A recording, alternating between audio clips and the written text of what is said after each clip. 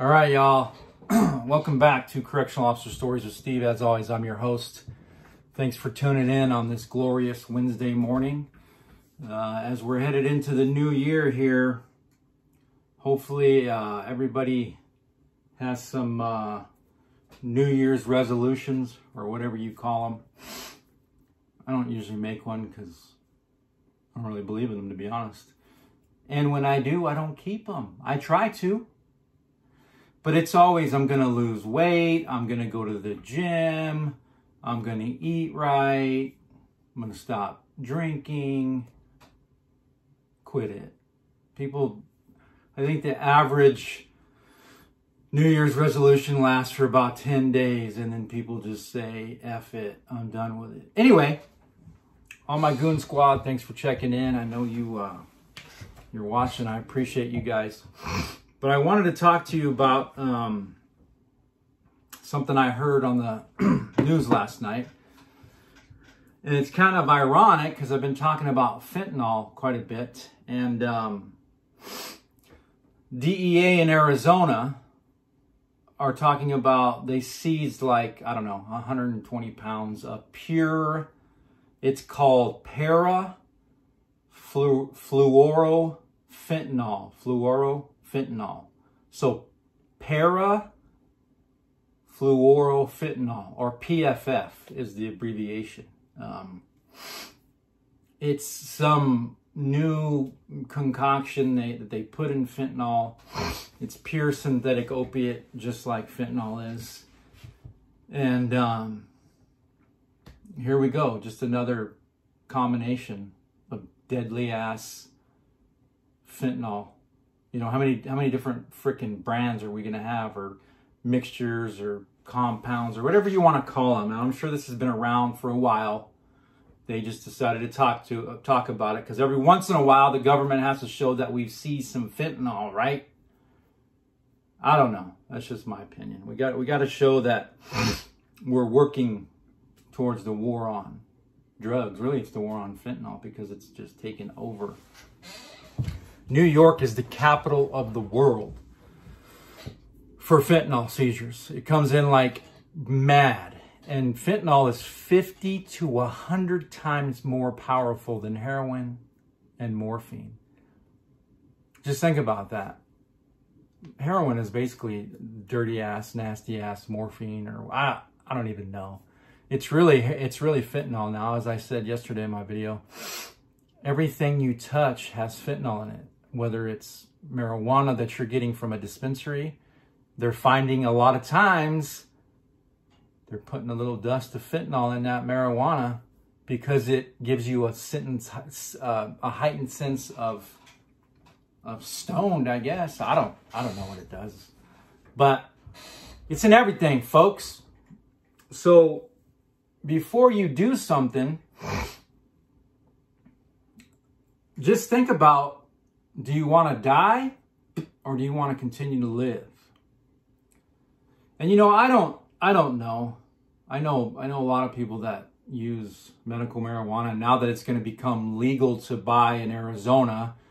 You don't have to have a medical card. You can buy up to I don't know. I think you can have up to like two ounces on you, and then you can have like five to seven plants. I, I don't know. I don't pay attention. Um, it's not something that I utilize, not nor can I in the business that I'm in, nor nor would I. It just, you know, obviously I, I tried it like once or twice back in the day. I don't like to feel paranoid. I don't like that feeling, and I know that's the common thing that people say, but it made me paranoid, and I don't like it. I'll tell you that right now. I don't like it. Anyway, I feel like I've been talking about fentanyl a lot. It's been on my mind. I told you why it's been on my mind, and then boom, I'm watching the six o'clock news, and here we go. Para fluoro, fluorofentanyl, and I'm probably saying it wrong, just PFF. Look that up. PFF fentanyl, and um, you'll know what I'm talking about. It's been around for a long time, people. Probably, I, I would imagine. Um, I could look here, but I just don't get it. And and I mean, I do get it. Don't don't don't listen to that. I do get it, but I don't I don't know why we can't stop some of this stuff. You know what I mean? It I don't know what it would take to just stop it. You know, I, I don't know. I really don't. You know, this country has gone in such a freaking wrong way that we could enact martial law. And you know what? I've been always, I've always laughed at people that said that. You know, I, I, do, I would just be like, you're crazy, man. Just another anti-government motherfucker. Right? But now, I'm one of those guys that said, you know, that, that could happen. You could have the military roaming the streets. And remember that saying, when the street lights come on, you better get your ass inside? Guess what? That could come. Only be the military. And, then, and remember, a lot of the military now is um, immature, young-minded kids that just didn't have a a great home growing up and they just decided to go into the military. And it's probably always been like that. But I feel like back in the day, in my era, there was a little bit more responsibility instilled in you. Now you've got these 17, 18, I think you can enlist at 17 and then you when you once you turn 18 you're at boot camp. And um, is that what you want? You want a bunch of 18 year olds telling you to basically lock down like you're in prison?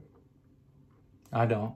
I don't want them telling me what to do telling me when i can go to the store how much i can buy at the store. Think about it people. Just think about it. I know i'm probably going to get some hate from that but i don't know. That's just i'm just throwing it out there. I'm just throwing it out there. But fentanyl 50 to 100 times more powerful than heroin and, and morphine.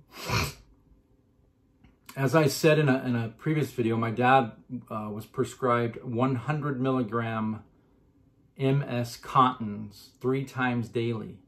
It's a little gray pill, and that is pure morphine. We didn't give him three. He would take one to one and a half.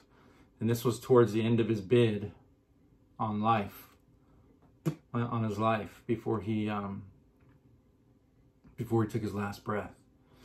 You know, we ended up putting him on hospice, and all they do is fill you full of a dropper, fill your mouth full of a dropper of this pink or purple liquid. That's liquid morphine. It's not like you're swallowing it. It's supposed to uh, absorb into your mouth. And I remember when my dad passed. It was a little bit gory, but when he passed, I opened his mouth and it was just full of nasty ass coagulated freaking morphine that they were just dumping into him. You know, because I would tell him, listen, when I'm not here, don't I don't want him that. He's I don't want him on that. You know what I mean? He's in a coma. I really don't believe he's going through any pain. And I would tell him, sorry, Pops, but you're not they're just dumping you full of this. You're not ingesting it. You're just sitting in your mouth. It's ridiculous. All you hospice nurses out there and doctors, comment if you're watching this and tell me that I'm wrong. I mean, I, I know a lot about it. I mean, he was on hospice twice. He was he came out to the house. We had to put him in a facility at the end. And trust me, I appreciate everything hospice does. They are excellent. I'm speaking for Hospice of the Valley here in Arizona. I haven't used anybody else, but they've always treated us excellent. The nurses were excellent. Um, the doctors you don't really see. I saw a couple at the in, intake facility, um, but they don't, nobody ever came. On the phone, the pharmacy delivers right to your house, um, and they deliver pure, pure opiates. I mean, they were delivering this, they were, they were delivering a dropper full of uh, morphine and um, the MS Contin pills on top of like Xanax and all kinds of other shit. It's almost like they, they hurry your death up. You know what I mean? But as a matter of fact, I still have a that dropper, and it's all old and nasty now. But maybe maybe someday I'll show it. I don't know if YouTube would would like that or not. Maybe not, but I, I might show that one day. I'll show I'll show you what it looks like for those of you that haven't seen it. Um, and I, I bet you if I showed it to somebody that was actively using, they would figure out a way to use it. And I hate to say that, and I hate to be negative, but it's just the truth. Um, anyway, but fentanyl, people, 50 to 100 times more powerful. Heroin and morphine are already powerful enough. 50 times? It's a death wish. It's a death wish, man. Get off of it. Think about somebody other than yourself. And I know that's that's selfish of me to say, but you have family and friends and people that care about you. Think about that and think about the heartache that we all go through when we lose you, especially if you're young and you've got your whole life ahead of you and you freaking take an acute dose of fentanyl because you decided to smoke a joint that was laced with fentanyl and you didn't know it, and then boom! Family gets a knock on the door to tell you that uh, so and so is no longer with us. You don't want that knock. I'm telling you, you don't want that knock. It's gonna put your, gonna put you in a spin, and then you may become addicted to something. I don't know, but I know this is kind of a negative way to start the day but it's just it's weighing heavy on my mind people. And then like i said it's on the news. I, I i honestly haven't seen it on the news for quite a while. Until yesterday. Bing! Another light bulb turned on in my head. So i don't know. Um, but anyway on a positive note sounds like the $600 stimulus check started to go out last night. Uh, my wife called me this morning and said a friend of hers two friends of hers got like got it on this debit card I don't know. So if you if you um, if you folks qualify for the stimulus and you have direct deposit, whether it may be that card or you have your direct deposit linked to your checking account, you'll you'll probably get it soon. They said it may take up to two months to get all the dispersed payments out. They also stated that uh, checks will start being mailed out on this today, as a matter of fact, Wednesday. So um, that's that's a positive note. Uh, 600 bucks per person, slap in the face. Obviously, there's a there's a cap to the amount you can make. So, I don't know. Um, I just I pay attention to the the other part of that stimulus bill, like business, uh, the PPE and things like that. And like I said in a previous video, I watched a YouTuber named It's Jimmy that has the same freaking thumbnail and freaking a bunch of clickbaity ass titles. And he's just profiting off stimulus conversations. I, I guess props to him, right? I, I hammered him. I, I hammered him in a previous video. But it just makes me angry when people profit off something and they're giving half-ass factual news and then mainly fluff to get people to watch, right? And I guess that's the world of that's how that's how it works, right? You just people just forgot what integrity means. You know what I mean? They don't have a clue what integrity, especially especially some of these young bucks that you're watching. If you're watching me, look up integrity and try to follow the definition of that. You know what I mean? It sounds like it seems like this world has lost integrity. Everybody lies just to lie. You know what I mean? About dumb shit. Just stupid. You know what I mean? Hey, are your keys in your pocket? No, I don't know what I did with them. Keys are in your pocket. Like dumb shit like that. You know what I mean? The hell would you lie about that for? I don't know either. Pathological liars. There's a ton of them in the world. So look up the definition of integrity. You know what I mean? Honesty. It's all you have, folks. Your word is all you have. Trust me. I've been through it. I know it it's just all you have. You know what I mean? So try to follow it.